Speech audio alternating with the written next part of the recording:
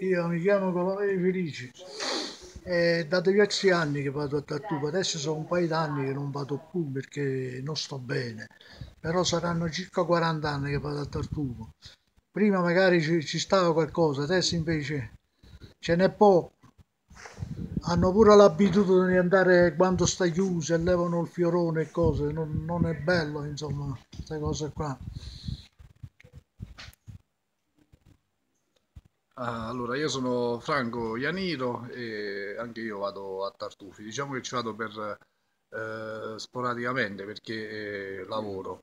E qui il territorio, diciamo che si presta a questo, questo tubero. E come diceva Felice, lui è un vecchio tartufaio e eh, anno dopo anno sono usciti fuori eh, le nuove generazioni che stanno portando avanti, diciamo, la raccolta del tartufo. L'aria eh, è bassa, quindi ci permette eh, di svariare su tutto il territorio. E stamattina siamo usciti con Alessandro.